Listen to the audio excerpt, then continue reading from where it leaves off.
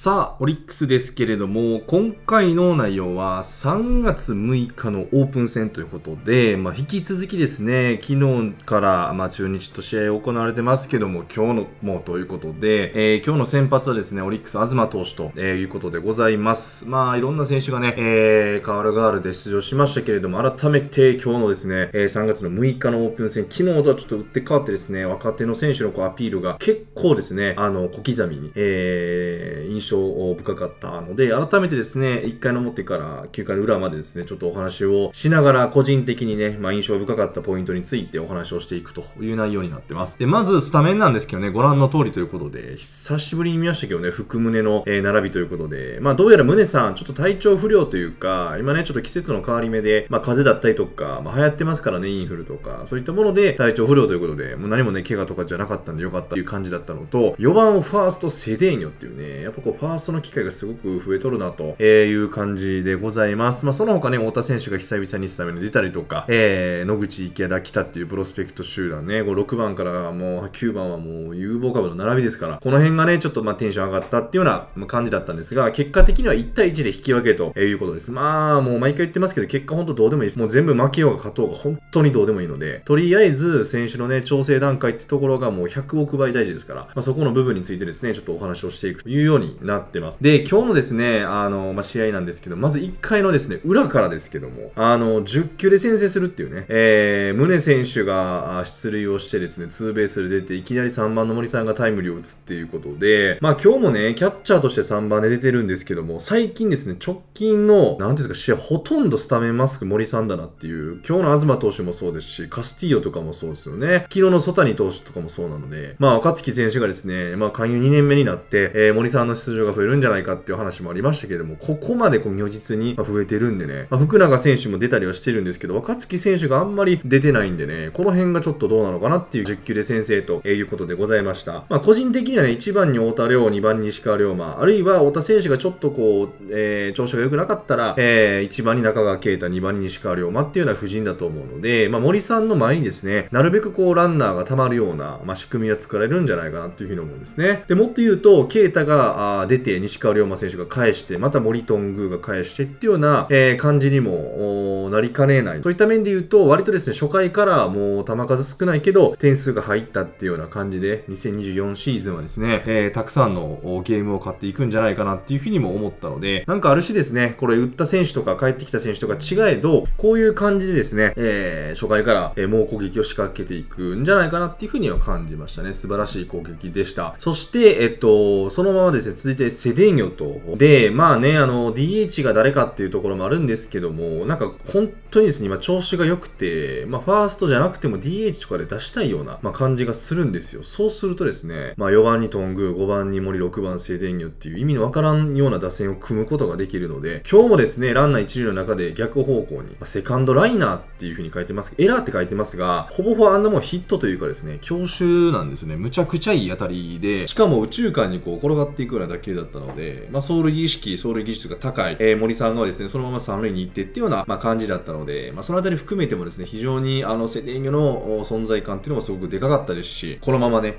開幕まで調子をキープしていただいて、DH とかでね、出てくれたらいいなっていうふうに思いました。まあ今日もファーストで出てるんですけど、ファーストの守備もね、年々ちょっと上手くなってるというか、まあさすが24歳、5歳ということで、まだまだ伸びしろがあるというところでね、守備の部分も、まあこう上手くなってきてるのかなっていうふうには感じましたよね。そして、えっと、3回の表ですね、これ、東投手、この回で降板ということで、めちゃくちゃいい投球でした。で、背番号が12で、グローブの色味的にもですね、ほぼ俊平太に見えたんですよ、最初ね。あれ、代表行ってんちゃうかなと思ったんですけど、あの、よう見たら東投手でした。それぐらい、あの、ものすごく良かったです。で、あの、一番痺れたのがですね、これ中田翔選手に対してですね、150キロ後半連発するんですよ、まっすぐで。まあ、残念ながらね、ストライク入らなかったんですけど、あれは痺れましたね。めちゃくちゃいいボールでした。はい。結果的には3回36球被安打2奪三振に無四球ということで、まあ、素晴らしい投球をしていたので、まあ4本柱っていう風にね、安易にこう計算にも入れられてるんですけど、地味に心配なのがこの東投手ということで、まあこう2年目のジンクスとまでは言わないんですけどね、えー、後半からこう来たので、1年間フルではまだ対等してないわ。そうすると、調子の波だったりとか疲れとかもあると思うので、これ前半からね、えー、行く時に、えー、持つのかどうかとか、なんかその辺がすごくまあ地味に心配だったわけですよ。まあこの投球から見ると本当ね、ローテとはもう計算断もせざるを得ないというかですね、めちゃくちゃ良かったんで、ちょっと東投手はもうさすがだなという感じでしたし、まあ去年ね、若月選手と組むことが多かったですけど、今日の森さんとも相性すごく良かったですから、えー、素晴らしかったなっていうような感じでした。そして3回の裏ですね、これ柳投手、まあ中日のエースですよね、ここ相手に北選手がセンター返しということで、まあ、打つ方は非常に調子がいいということで、まああのー、右投手ばっかり打ってるんでね、ちょっと左投手に対してどうなのかっていうところもありますが、まずは打てる投手から、えー、打っていく、そしてこれまで打てなかった選手も一人でも多く打っていくっていうような段階だと思うので、そういった面で言うと、まあ、中日のエースから打ったっていうのはすごくポジなんじゃないかなっていうふうには感じますよね。そして、その後にね、宗選手がライトにヒットということで、怪我明けに2安打っていうね、まあ、新しいフォームが、えー、いい感じでハマってるということで、まあ、どうしてもね、こう、ゴロバッターになるのかなっていう、ライナー性の、えー、バッターになるのかなっていうので、なかなか、あの、構え的にですね、こう、ボールがこう、上がるような感じはしないんですけど、それでもね、えー、大事なところでこう、ヒットを打つっていうのはやっぱ宗さん素晴らしかったので、これまでは広岡選手が出てましたしたけども、まあ、サードのオプションに、宗の中にですね、もう一人こう、広岡選手っていうのが、えー、加わっただけでも非常にポジなんじゃないかなっていうふうには感じますよね。そして4回の表ですね、佐藤和真投手がこの回からマウンドに上がるんですが、いきなりですね、ワンアウトから中田翔選手でホームランということで、完璧。なんでそんな京セラに相性がいいんですかっていう、まあ、もっと言うとオリックス戦でよう打つねという感じですよ。もういろんなところで打ってましたし、いろんなところでね、オリックス戦でヒーローインタビューになってた、えー、記憶がありますけども、ホームラン打たれました。それよりもですね、佐藤和真投手ちょっと個人的に気になったのが、その後にストライク入らないんですね。フォアボールと。明らかにもう動揺してるというか、まあ、焦ってるんですけども、普通に考えてですね、もう中田翔ですよ。まあ、日本ハムで、まあ、4番を務めて、侍ジャパンでもクリーンアップを務めて、ジャイアンツでもね、クリーンアップ務めて、中日で4番ですね。明らかに実力がもう全然違うわけですから、もう打たれて、えー、もう普通だと。もうむしろ真っ向勝負でですね、えー、もう向かっていくんだぐらいの姿勢でいってほしいなっていうのはちょっと個人的には感じました。もうあわあわして、もストライク入らないということで、細川選手も似たような右のね、長距離法ですから、なんかそこもあってですね、ちょっと動揺しちゃったのかなっていうのは感じましたし、まあインタビューのところでもね、めっちゃ緊張したというふうに言ってたので、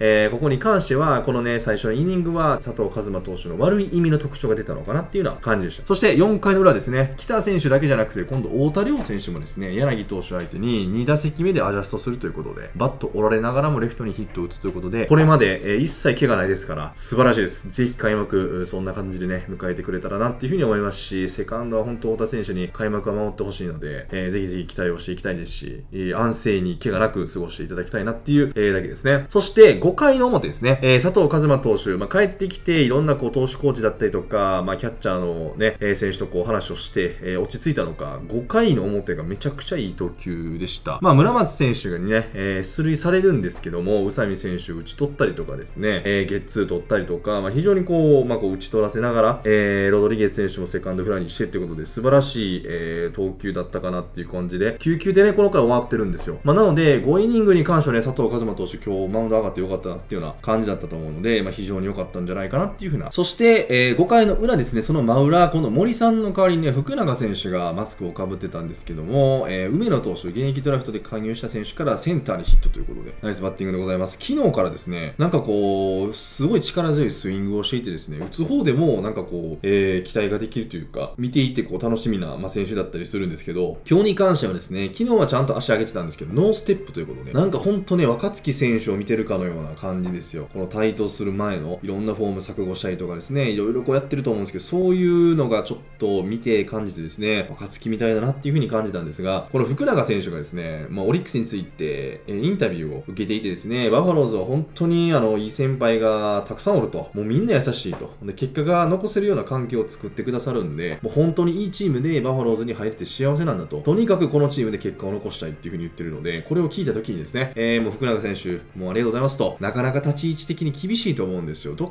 かでもしかしたら若月選手 FA してほしいなとか、森さんが加入するときにもちょっとやめてくれよとか思ってたかもしれないですよね。えー、こんな選手がですね、3番手っていうのもなかなかやっぱり厳しいですから、えー、西武の古賀選手が、柘植選手がもうマスクむっちゃ被ってるようなことを見るとですね、俺も出たいなと思う中で、こういうことを思えるっていうのはやっぱ素晴らしいですし、実際にもね、森若月ってゴールデングラフとベストナインがいるチームなんてまあないですから、えー、12球団でも、まあ、トップクラスのですね、キャッチャー陣の中に入っているわけですから、まあ、石川遼選手もいてですね、なかなかにやっぱ渋滞をしている、えー、去年のドラフトでも堀選手を確保して自分の立場上どうなるのかっていうのも、まあ、結構ね、まあ、不安な中でこういう発言をしてくれてるんでね、これはちょっと応援しないことにはいかないなっていう感じなので、ぜひ頑張っていただきたいし、1軍のね、出場を去年よりも増えるとは思うんですけど、なんとかね、隙間を狙って、えー、出ていただきたいなというふうに思いますし、今ね、えー、もしかしたら、まあ、25とかですよ。まだまだですけど、30代前半ぐらいですか？あるいは30手前ぐらいの時に福永選手をむちゃくちゃ重宝する時代が来るんじゃないかなっていうふうには、ずっとずっと思ってるので、今はね、もしかしたら出番がないかもしれないですけど、えー、諦めることなくですね、えー、どんどんどんどん森さん、若月さんから吸収していただいて、えー、一回りでも大きいキャッチャーに育ってほしいなと、まあ、感じました。そして、7回の表ですね、この井口投手がマウンドに上がるということで、ここもね、素晴らしい投球でしたよ。いつ支配下にするんですかっていうような感じですね、もうここに関しては。で、村松選手にね、出塁許すんですよ。村松選手がもうほんまええバッターというかですね、調子がいいんでしょうね。むちゃくちゃいろんなところで、まあ、塁に出るということなんですですけど、まあ、引いて、でも宇佐美選手、辻本選手を空振り三振ということで、もう素晴らしかったですよ。もう使い勝手が非常にいいですから、勝ってる展開でも負けてる展開でも、イニング関係なくですね、え短いイニング、長いイニング投げてくれそうな感じがするので、もうほんといつ進んねんなっていうような感じですよね。そして、えっと、8回の表、今日横山投手がね、マウンドに上がったんですが、3者連続三振ということで素晴らしい投球でした。えー、画面に映ってるのがね、ディカーソンってなってますが、その前の山本選手とか三好選手ですね、自分の経験のある選手からもですね、えー、三振を奪ってということで素晴らしい投球でございました。しかも、なんかこう、球数もそんなかさんでないですし、ディカーソンに関しては3-0からですね、どんどんどんどんストライクを積極的に入れていって、高め中心になりましたけどもね、まあ、こう、ショートアームから投げて三振を奪ったということで非常に良かったんじゃないかなと思います。そして最終回ですね、9回の表、今度佐伯投手がね、マウンドに上がるんですけど、今日に関してはですね、まあ、村松選手が調子いいって言ったんですが、えー、ここの部分ですね、すごく良くて、えー、中地、そして、えー、細川選手、福永選手、村松と、えー、対戦をしたんですが、フォアボールで1つだけ出しまして、あとはもうしっかりと抑えるということで、佐伯投手に関してもですね、これもう調子がいい村松、そして実軍の実績のある、えー、中地、そして福永選手を抑えるっていうことですから、ここに関してもですね、いつ支配が済んねんっていうような、まあ、感じなんですけれども、改めてですね、えー、佐伯投手も大文字だったらというところで、えー、お話をさせていただきました。そして、えー、9回の裏ですね、今度北選手が祖父江投手からヒットを打つということで、やっぱ左から打つと、